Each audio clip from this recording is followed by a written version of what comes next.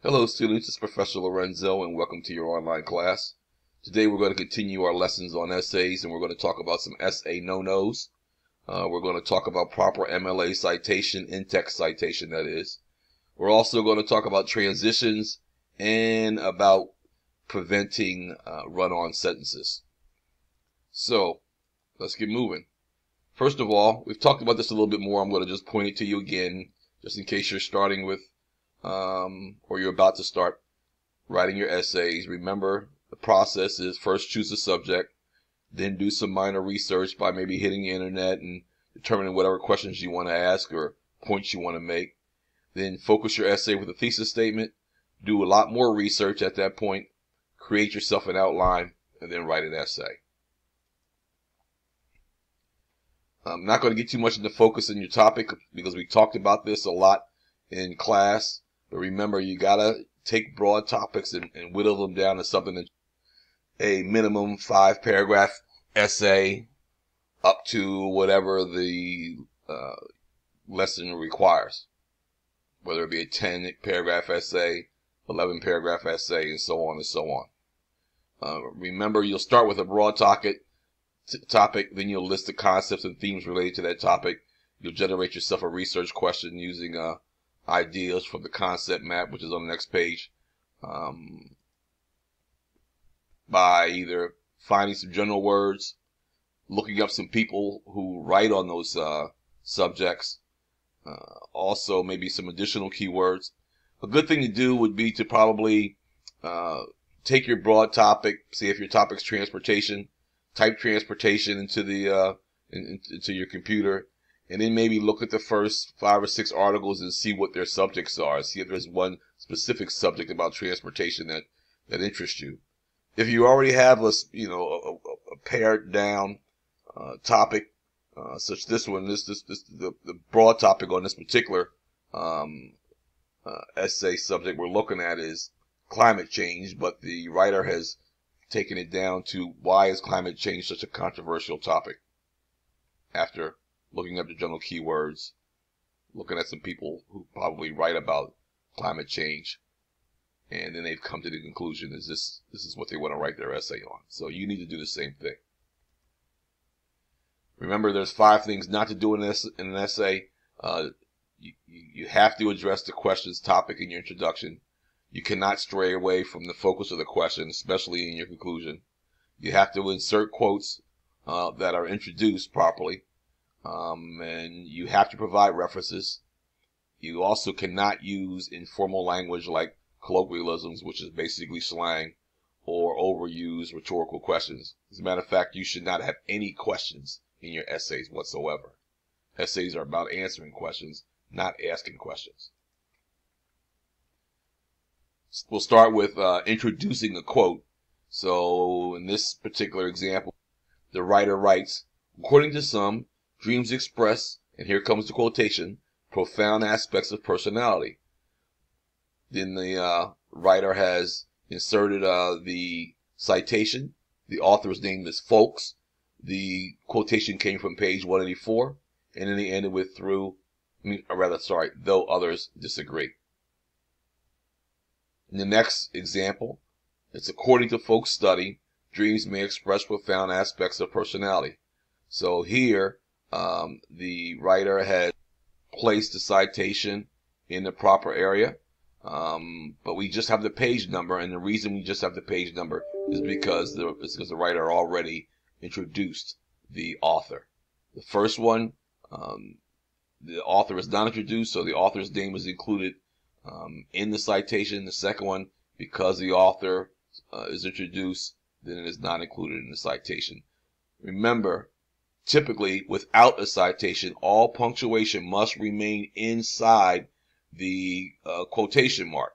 So if there was no citation here, then this comma would be inside the quotation mark. But because we're using a citation, then, the, then you have the quotation mark, then the citation, and then whatever punctuation there is, whether it be a comma, exclamation point, question mark, period, whatever, and so on and so on. In this last example, the writer wrote, Is it possible that dreams may express, here comes the quotation, profound aspects of personality?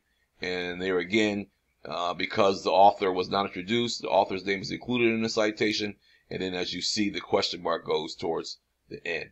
Uh, of course, you don't have to handwrite your quote your your uh, citations because I showed you how to input them in the Word uh, in, in Microsoft Word. So you continue to do that, but you still need to know what the process is so that when you proofread, you make sure it's correct.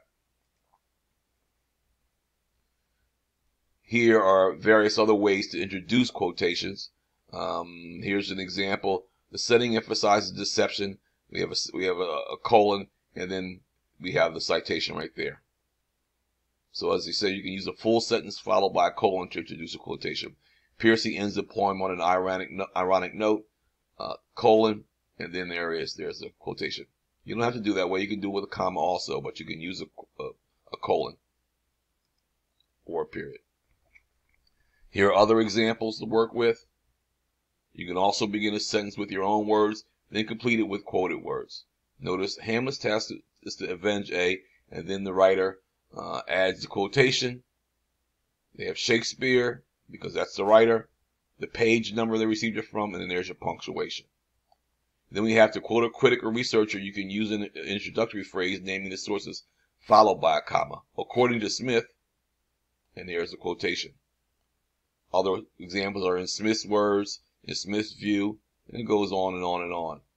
Smith states, Smith, Smith remarks, Smith writes, Smith notes. You can use all types of uh, words to introduce it. Just make sure you do it in the proper structure. If your lead into the quotation ends in that or as, don't follow it with a comma. So if it's that or as, there should be no comma there. That's the only time. There's a video in the static non-narrated lesson uh, that you should take a look at, and that'll give you some more in, insight into using proper MLA uh, style in-text citations. This tells you a little bit more about in-text citation. Um, it, again, as we said earlier, includes the last name of the author, followed by page number, including enclosed in parentheses. This gives you some information, information on quoting directly. I'm not going to go through, the, through every single page, uh, line by line, but you want to go back and take a look at this before you write your essays, this, this current research essay you're working on.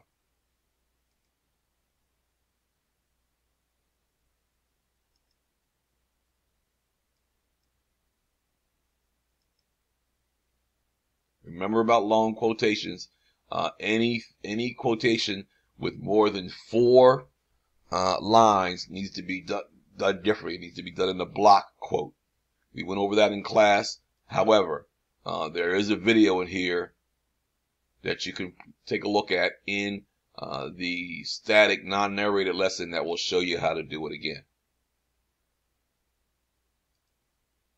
Colloquialisms, again, are just using slang.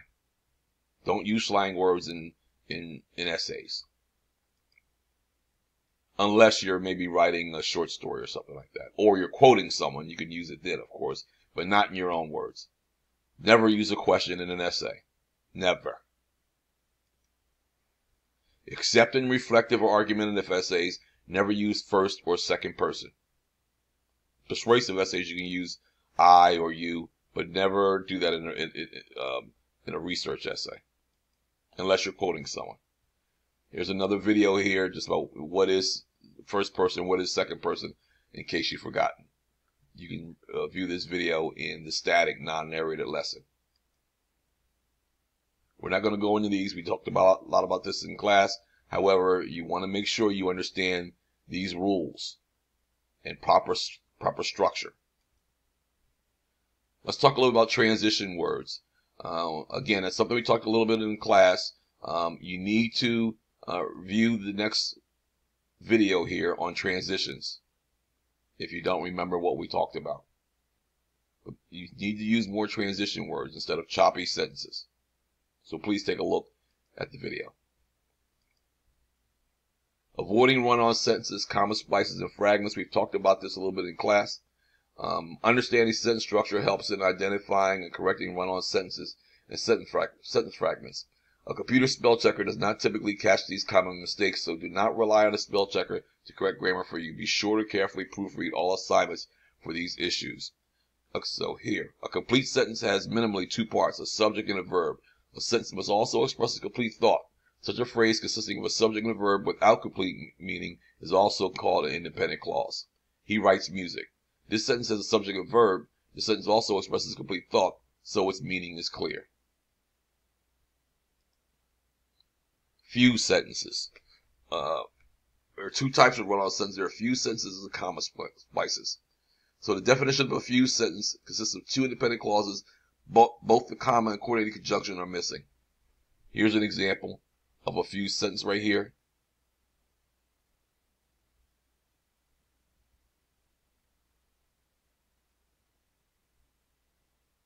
So how do you fix that? You can either create a compound sentence by adding one of the uh, fanboys. You can uh, separate independent clauses with periods and capitaliza capitalization. You can insert a semicolon, or you can link ideals using a subordinate clause. These are all examples, and you can also find these in the static non-narrated lesson.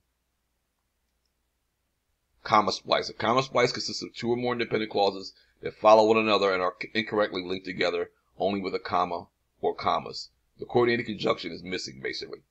So how do you fix that? You can uh, insert a coordinating conjunction, one of the fanboys, insert a semicolon, or um, you can use some of these other examples.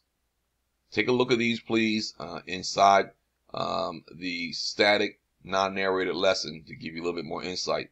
Um, if you're not having any problems with, with one of those sentences, uh, you don't have to worry about it. But if I'm if I've uh, edited one of your papers and told you that you were using run-on sentences, you need to take a look at this so that you improve it. We talked a lot about determiners. Um, there is another, there's a video coming up about determiners. In other words, using the, the, the indirect articles like a, and, and the. Make sure you're using those properly. Here's the video. Again, you can view this in the static, non-narrated lesson. Remember to pay attention to how you're using is, am, and are. The sentence in grammar is she is my best friend, not she be my best friend. We can use be in our own language when we're talking to each other, but we cannot use that in our in, in our essays. So make sure you're proofreading your papers uh, to eliminate that mistake.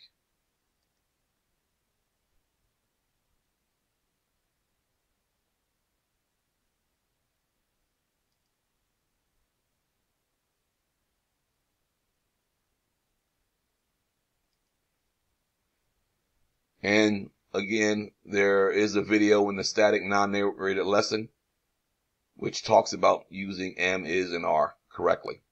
So if you're having some issues with that in your essays, if I've made mention to mention of it in my remarks on your essay, then make sure you go back and watch the static non-narrated lesson to figure out how to correct it. So that concludes this video. Um, as usual, there will be a quiz uh, that you need to complete in order to indicate that you've watched this video and that you are in, in fact present in today's online class. Other than that, have a great day. See you next time in class. Later.